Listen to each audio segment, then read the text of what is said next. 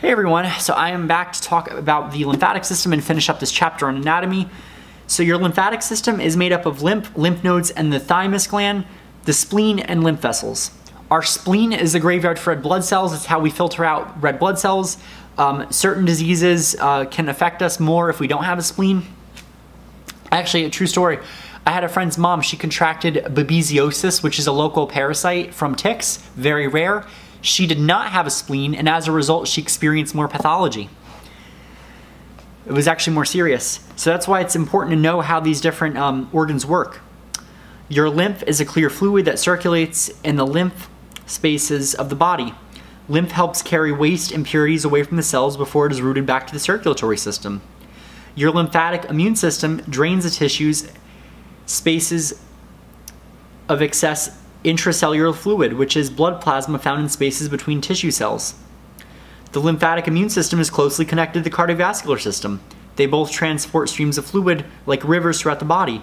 The difference is that the lymphatic immune system transports lymph, which eventually returns to the blood where it originated.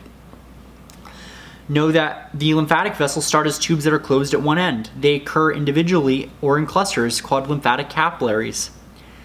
Lymphatic capillaries are blind end tubes that are the origin of the lymphatic vessels.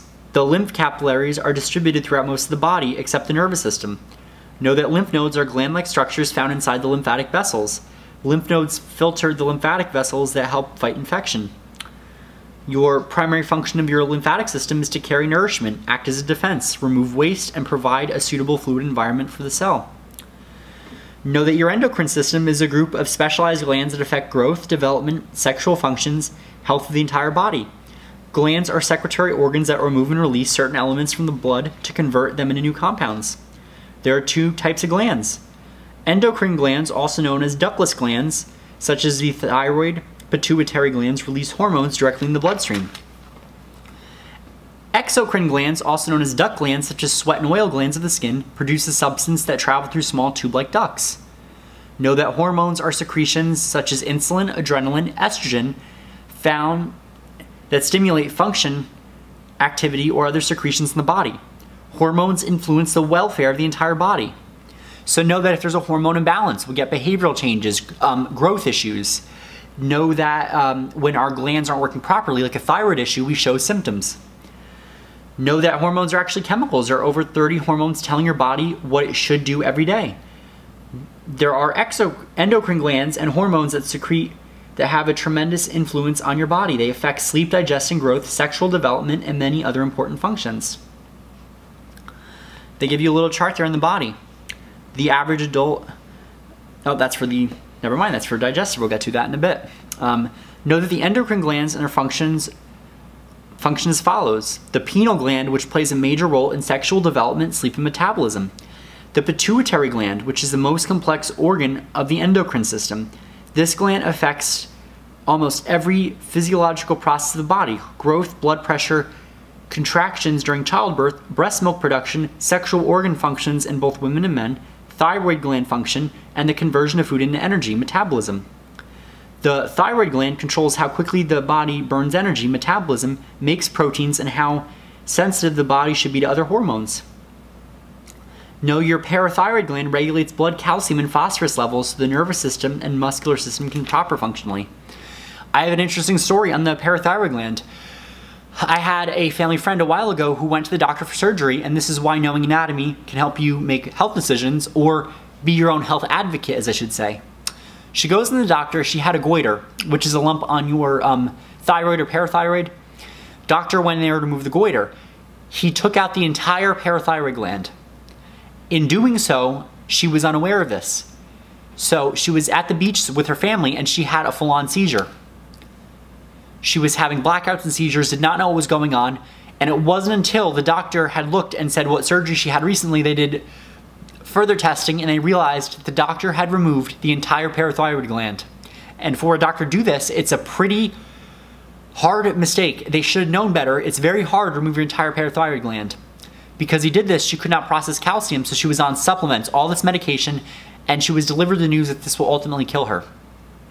And this was um, it, it was a really hard hit in the family, and then they also had to help her get justice. They had to do medical malpractice lawsuit.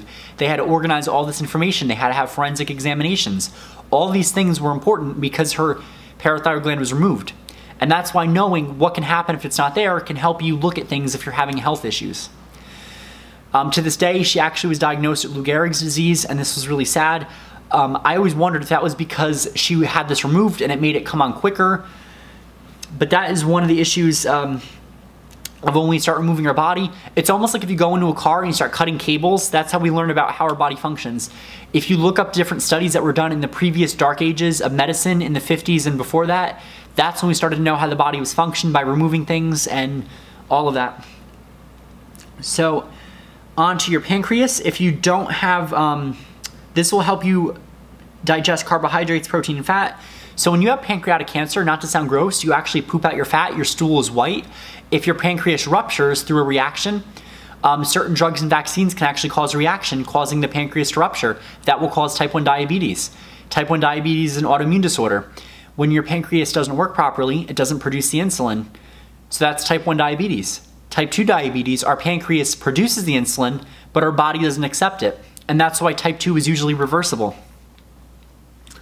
Know that your adrenal glands secrete about 30 steroid hormones and control metabolic process of the body, including the fight or flight response when we're scared. Know that your ovaries, um, which is your female sexual glands, function in reproduction as well as determining female sexual characteristics. Know that your testes, singular testicle, are male sexual glands that function in reproduction as well as determining male sexual characteristics. Know that the digestive system, also known as the gastrointestinal system, is responsible for breaking down food into nutrients and waste. Consists of our mouth, stomach, intestines, salivary, gastric glands, and other organs. Know that digestive enzymes are chemicals that change certain types of food into soluble, capable of being dissolved form, and then can be used throughout the body. The food in soluble form is transported into the bloodstream and used by the body cells and tissues. The entire food digestion process takes about 9 hours to complete. And you'll notice that if you're eating at odd times, not to sound gross, but you'll actually poop at different times. That's part of our system working. The excretory system is a small group of organs including the kidneys, liver, skin, large intestine, and lungs that are responsible for purifying and eliminating waste. The kidneys get rid of urine. The liver discharges toxins. The skin eliminates through perspiration, sweating. Large intestine eliminates decomposed and undigestible food, such as pooping. The lungs exhale carbon dioxide. Know that the your kidneys make sure your blood is not too thick or thin, it is not overloaded with waste and other parts of the body, and then about 440 gallons of blood flow through your kidneys every day.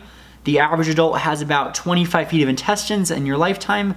Your digestive system handles about, oh, in your lifetime, your digestive system handles about 50 tons of food. I swear this book is written odd.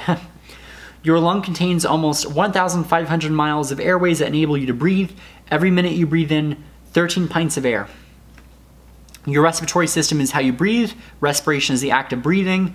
Your lungs are a spongy tissue. You have microscopic cells in there.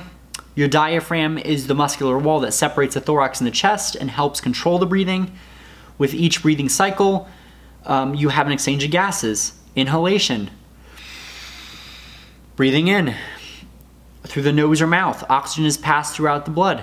During exhalation, I hear a lot of my I hear a lot of my sassy students or angry students, they'll go like this when you tell them something they don't want to hear. The dreaded exhalation that drives us teachers crazy. That's breathing outward. Carbon dioxide is expelled. Oxygen is more essential than either food or water. People may survive more than 60 days without food or several days without water. If they are deprived from oxygen, they will die within a few minutes.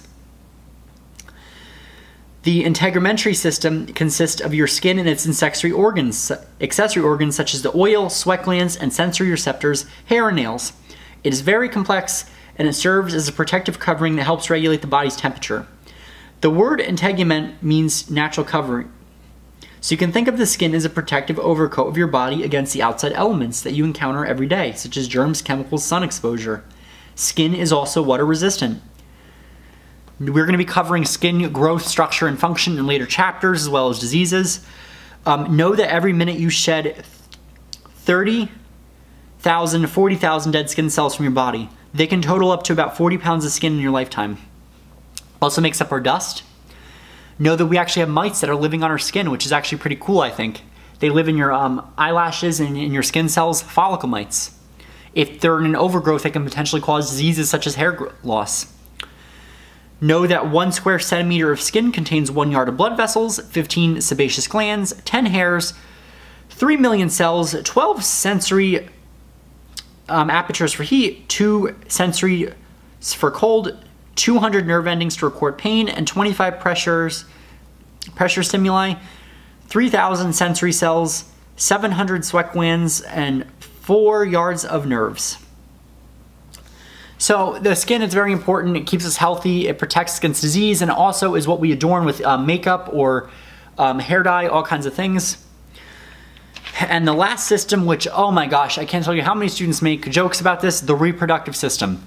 Yes, men have a penis. Females have a vagina. That's the basics of your reproductive system. Um, they perform the function of getting pregnant. The reproductive system produces hormones, estrogen in females, testosterone in men. These hormones affect and change the skin in several ways. Acne, loss of scalp hair, facial hair, growth, color, skin pigmentation. So whenever we're dealing with any kind of issues like that, cosmetologists have many products and treatments that can address this.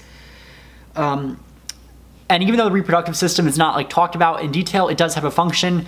I know a lot of people talk about, um, you know, different parts of the reproductive system. There is not a model on this book. I think in the next one there is, um, but everything has a reason. And I know, um, here's just a fun little note because I was doing some research on this for one of my natural health groups. Um, one of the bottles of the books showed the male penis with how it should look with the foreskin, and I know a lot of people, um, you know, think it's a joke, or they'll say, "Oh, the foreskin doesn't have a function." It actually does. Newer research is showing that the foreskin is actually important, and it can actually protect us against disease if cared for properly. So it's one of those things how anatomy and physiology is always growing, and we're always learning new things. Um, check out documentaries like American Circumcision. It's a really good documentary. Um, body Story is a really good documentary series on YouTube that goes over how the body functions. Um, Vaxxed is also a really good um, documentary. It talks about health debates, about vaccination and pros and cons. Um, know that another documentary, there's a human body one that the BBC did and it showed you how your body functions. All these documentaries can lump together and the more information you have, the more um, exposure you have to this, the better it can help you understand how our bodies work and function. And that is it for the dreaded chapter 6 anatomy and physiology. It is very very um, long but don't worry. After these chapters we're going to be entering the meat and potatoes and the fun stuff. Next chapter is going to be chapter 7 skin structure growth and nutrition. One of my favorite chapters. It's what really got me into um, skincare. And if you guys are vitamin junkies you will absolutely love that chapter. It's a smaller chapter so after we do that, we're gonna then delve into chapter eight, which is skin disorders and diseases, all that good stuff. So I really hope you guys enjoyed this anatomy thing. I'm sorry if I did a lot of reading, I kinda had to. It's one of those chapters that was very dry. It had a lot of information and it's a ton at you at once. So um, don't be worried. As long as you know the basics of this, you will do good in your state board written. So I'll see you guys soon to talk about chapter seven, um, skin growth and nutrition.